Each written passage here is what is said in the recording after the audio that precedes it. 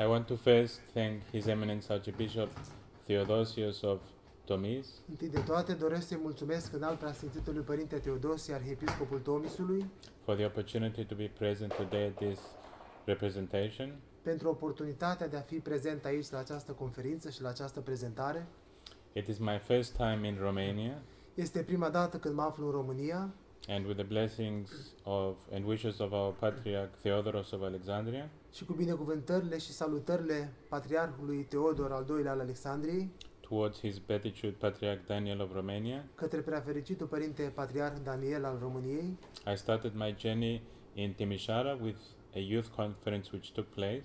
mi-am început călătoria în Timișoara cu întâlnirea tinerilor ortodoxi care a avut loc acolo, to represent our patriarchate ca să reprezint Patriarhia noastră and to visit the different places, churches, and monasteries in Romania. și să vizitez di- diferitele locuri, biserici și mănăstiri din România. It is a blessing to see all of these historical places, Este o binecuvântare să văd aceste locuri istorice, the ancient monasteries, mănăstirile din vechime, the beautiful museums frumoasele muzee, which have the beautiful old marbles and limestone, care au frumoasele uh, construcții de marmură și with the inscriptions of the ancient people. cu scrierile din vechime. St. Paul spoke about the Scyths, Sfântul Apostol Pavel a vorbit despre aceste locuri, despre aceste schituri. the presence of the apostles here, the first called St. Andrew, Prezența apostolică aici, cea a Sfântului Apostol Andrei, cel întâi chemat, whom on Sunday which passed we heard the beautiful gospel reading. despre care am auzit vorbindu-se în Evanghelia din duminica ce a trecut, All the ancient martyrs of our church, toți martirii din biserica primară, who were martyred for the Orthodox Christian faith during the first Christian centuries, care au primit mucenicia pentru Sfânta noastră biserică în primele viacuri, all of their bones, their relics, which are found here, toate sfintele lor moaște care se găsesc pe aceste meleaguri, is a witness of our faith sunt o dovadă a credinței noastre and the presence of these people și prezența acestor oameni who held so firmly and strongly the Christian faith. care au păzit atât de puternic și atât de hotărât credința ortodoxă creștină. Every step that I have taken, Fiecare pas pe care l-am făcut, every place that I have been, în fiecare loc în care am fost, is a witness este o mărturie of the history which exists in this place. a istoriei care există în aceste locuri. I want to thank Starica Rafaela, Doresc să mulțumesc Maicii Starețe Rafaela, Father Daniel, Father Ilie from the monastery, părintelui Ilie de la Mănăstirea Histria and all the people who have welcomed me so warmly. Și tuturor celor care m-au primit cu atâta căldură, with their warm Romanian hospitality. cu ospitalitatea lor rom- română, românească plină de căldură. My parents come from the island of Cyprus. Părinții mei sunt originari din Cipru. And they moved to South Africa in the uh, decade 1960s și s-au mutat în Africa de Sud în anii, 1000 în anii 60. after the independence of Cyprus from England După ce Cipru și-a câștigat independența and de la before Anglia the Turkish invasion in 1974. și înainte de invazia turcilor din la 1974. My siblings and myself were born in South Africa. Frații mei și cu mine am fost, ne-am născut în Africa de Sud. It is where I did my primary and secondary studies Acolo am făcut școala generală și celelalte studii. and later on I went to Alexandria for my theologi- to Alexandria and Thessalonica for my theological studies. Și mai apoi am plecat în Alexandria și în Tesalonic pentru studiile universitare teologice. I was ordained a deacon by the previous patriarch Petros of Alexandria Am fost hirotonit diacon de către patriarhul de dinainte, Petru al Alexandriei. and served as personal secretary to his Beatitude Theodoros. Say that again. I was uh, the secretary to Patriarch Theodoros. Și am, sluj- am fost secretarul patriarhului Teodor.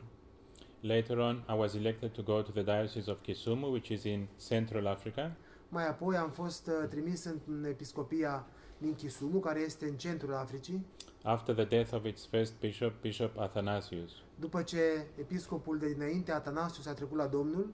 Bishop Athanasius was a young man, 47 years old, Episcopul Atanasie a fost un uh, om tânăr, 46 de ani, who passed away prematurely from Ganjo fever, which is a form of malaria. Care a trecut la Domnul prematur pentru, dintr-o formă de malarie care se găsește acolo. The Archdiocese of Kenya was one archdiocese, Episcopia Keniei era una singură. It started some hundred years ago with its first uh, Orthodox Christians, S-a format acum câteva sute de ani cu primii creștini ortodoxi care au ajuns acolo. And it spread more during the 50s, 60s with the presence of Archbishop Magarios of Cyprus, who was both Archbishop and President of the island of Cyprus. și s-a întărit și s-a dezvoltat mai departe în anii 50-60 prin lucrarea uh, arhiepiscopului Macarie al Ciprului. When he was exiled to Cyprus and uh, from Cyprus to the Seychelles in Kenya, Când a fost exilat din Cipru în insule Seychelles și în Kenya, he started the theological seminary in Nairobi. a întemeiat un seminar teologic în Nairobi. It where is where the young people go to study to become priests later on. Acolo tinerii se duc să studieze pentru a obține certificare de a fi hirotoniți preoți. So most of the priests in Central Africa have studied at the seminary in Nairobi. Așadar, cei mai mulți tineri din centrul Africii studiază la, Nai- au studiat și studiază la Nairobi. Some of the young people have gone abroad to study theology, Câțiva dintre tineri au plecat în străinătate ca să studieze teologie and recently one of our youth was sent to Romania to study theology with Și the de- blessings of his patriarch. și de Daniel. curând un tânăr de la noi a venit chiar în România să studieze teologie. Africa, as His Eminence Archbishop Theodosius said, is a historical place. După cum a spus în alt preasfințitul Părinte Teodosie, Africa este un loc și Alexandria este un loc istoric. It starts with the history of Saint Mark, the apostle and evangelist, Începe cu Sfântul Evanghelist Marcu, who went to Alexandria and was martyred there. care a ajuns în Alexandria și acolo a primit mucenicia. And so Christianity spread throughout Africa. Așadar, de acolo creștinătatea s-a întins în restul Africii. The historical places more of Carthage, Libya, uh, Tunisia, Locurile istorice ca Libia, Tunisia, with its ancient saints, Athanasius of Alexandria, Saint Anthony of the Desert, cu sfinții din vechime Atanasie al Alexandriei și Antonie, părintele pustiei, Moses of Ethiopia, Moise al Etiopiei. And many other hermits and saints and patriarchs. și alți puznici, sfinți și patriarhi ai locului. Central Africa. Africa Centrală. Uh, came, came to recognize Christianity later on, a recunoscut și a primit creștinătatea puțin mai târziu, as did the southern part of Africa. precum și cealaltă parte a Africii. Today, Kenya has four dioceses. Astăzi Kenya are patru eparhii. In the recent synods, the Archdiocese of Kenya was broken up into another three dioceses, În uh, sinodul recent, uh, restul, dioceza uh, Keniei a fost împărțită în încă, alt, în, în încă alte trei eparhii. and recently in the last synod, uh, the new bishop Panaretos was enthroned as the bishop of Nieri. Și în cel mai nou, în ultimul sinod, episcopul Panaretos a fost uh, într- întronizat ca episcop al lu- eparhiei Panerii. The present bishop of Nairobi is Macarius, Episcopul actual de la Nairobi este preasfințitul, da, preasfințitul Macarie, who has been in the missionary for many years. care face această lucrare misionară de ani mulți. We have a very close relation with the Church of Romania, Avem o relație foarte strânsă cu Biserica Ortodoxă din România, and our Patriarch Theodoros sta- was spent 10 years in Odessa as well. din Odessa, Odessa, yeah.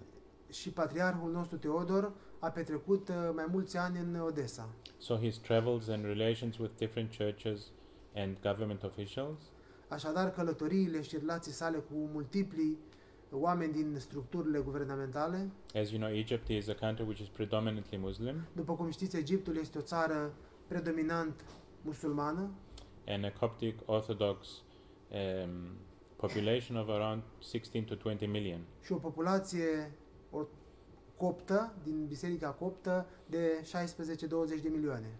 But we have good relations with all. Dar avem relații bune cu toți. My trip here and informing the people about our church when they ask about Kenya. Călătoria mea aici și cele pe care le spun și prin care informez pe oameni cu privire la Kenya, la țara mea Kenya, is that we are living the first Christian centuries, este că noi acum trăim precum trăiau creștini din biserica primară, din primele veacuri, the time of the apostles. precum se trăia în perioada apostolică.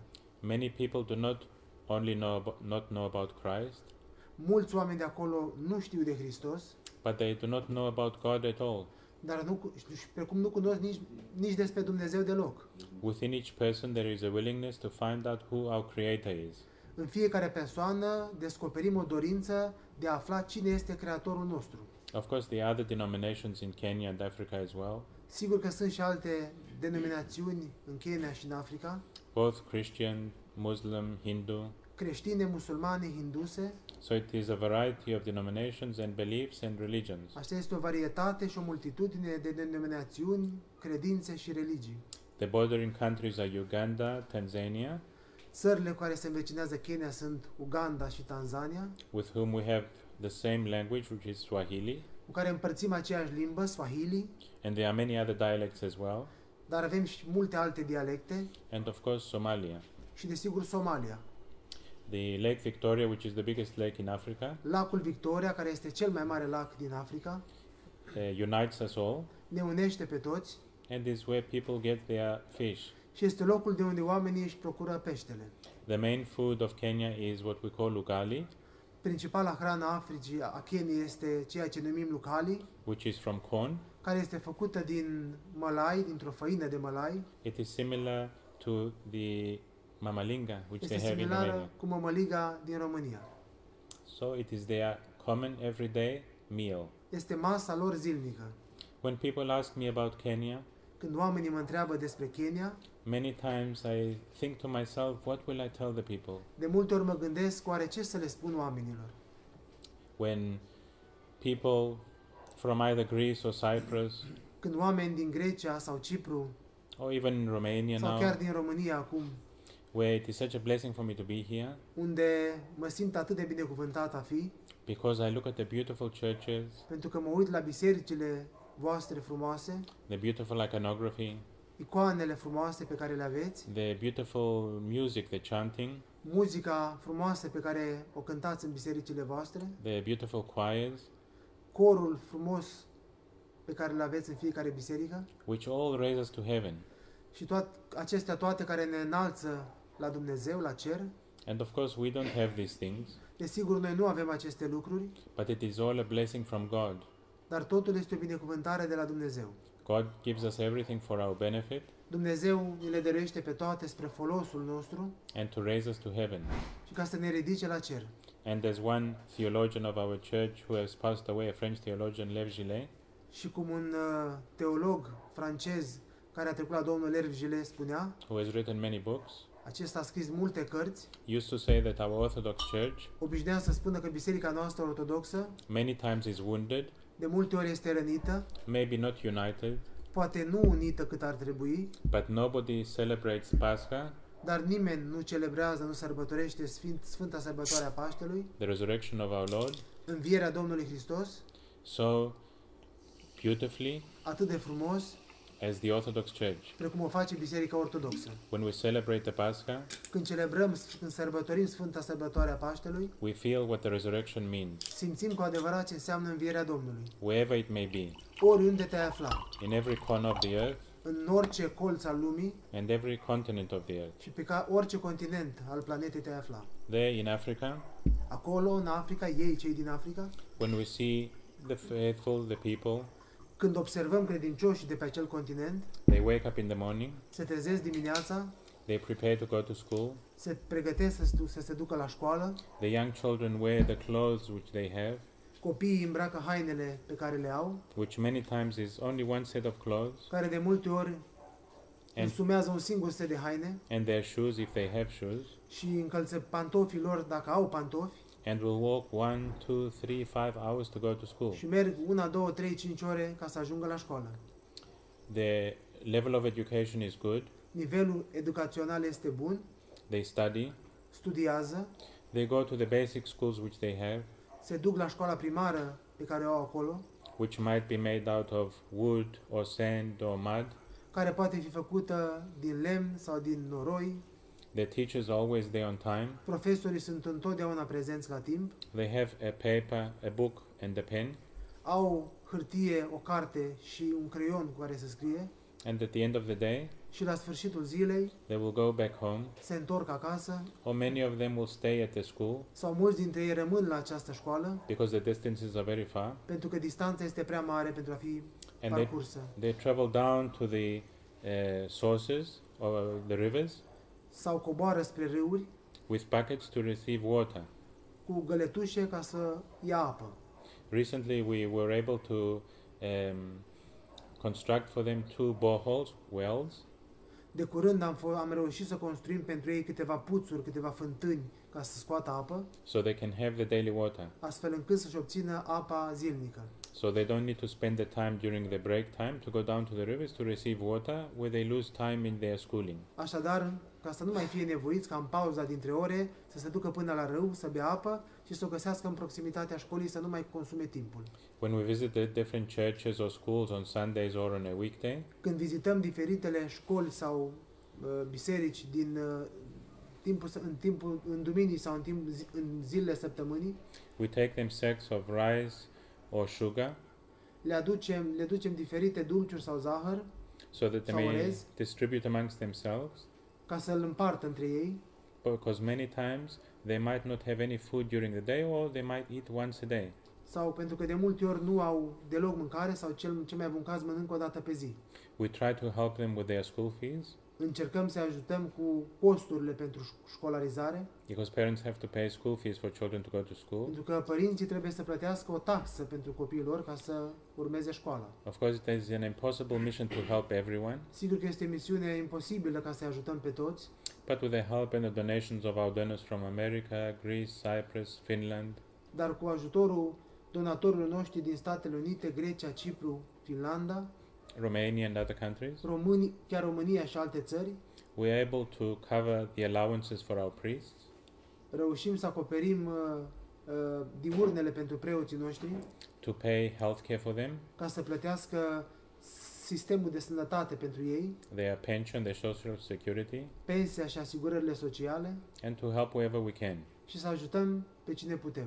Now, recently, with a donation we received, we started a bee project, Acum, cu donațiile pe care le-am primit, started, a bee project with bees for a, am honey, început un proiect uh, de apicultură. where we are in western Kenya, Uh, În Kenya de vest, in the forests. în păduri, There are many bees. Sunt foarte multe albine, because the vegetation is rich. pentru că vegetația este bogată, There are many trees and flowers, sunt mulți copaci și multe flori. And we are able slowly to harvest honey. Și reușim ușor, ușor să producem, să culegem miere de albine. Of course, we are still in the initial stages. Sigur, suntem într-o fază incipientă.